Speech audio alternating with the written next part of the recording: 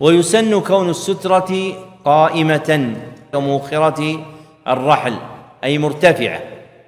وموخرة الرحل خشبة يستند إليها من ركب بعيرا ويقال آخرة الرحل أيضا. ويقال آخرة الرحل أيضا.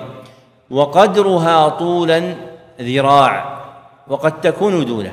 وقدرها طولا ذراع وقد تكون دونه. ولم يقع تقدير عرضها فلا حد له. فقد تكون غليظة كجدار وقد تكون دقيقة كسهم. فقد تكون غليظة كجدار وقد تكون دقيقة كسهم. وعرضها أعجب إلى الإمام أحمد فإنه قال ما كان أعرض فهو أعجبه إليه ما كان أعرض فهو أعجبه إليه واستدل له فقهاء المذهب بقوله صلى الله عليه وسلم استتروا في الصلاة ولو بسهم.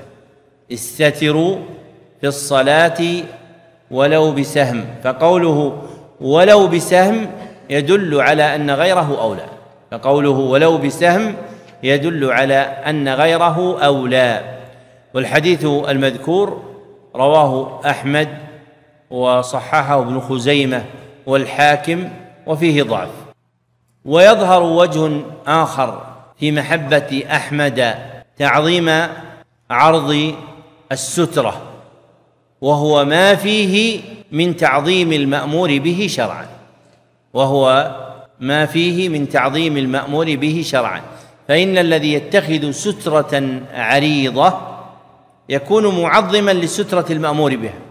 فإن الذي يتخذ سترة عرضها شبر يكون أعظم في امتثال المأمور به من اتخاذ السترة ممن يتخذها دقيقة في صورة سهم أو قلم.